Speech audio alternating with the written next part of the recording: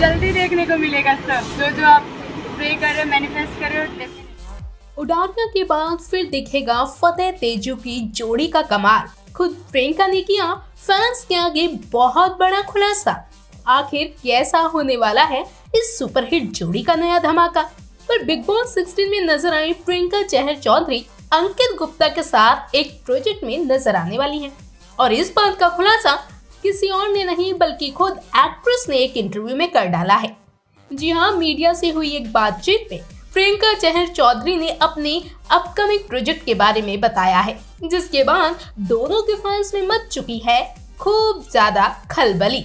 जी हाँ इस बारे में बात करते हुए हालिया इंटरव्यू में प्रियंका ने कहा, मैं ये बोलना चाहती हूँ कि सारे प्रियंकित फैंस के लिए, जो मेरे और अंकित के प्रोजेक्ट के लिए वेट कर रहे हैं, जल्द आएगा कुछ। पर प्रियंका के इस खुलासे के बाद अब हर कोई जानना चाहता है कि आखिर दोनों का ये नया प्रोजेक्ट कैसा होगा। तो ऐसी खबरें हैं कि प्रियंका और अंकित का आने वाला नया प्रोजेक्ट, कोई टीवी शो या फिर ओटीटी पर आने वाला कोई अलग जॉनर का शो नहीं, बल्कि म्यूज़िक वीडियो होगा, जो अगले एक महीने के अंदर धमाल मचाएगा।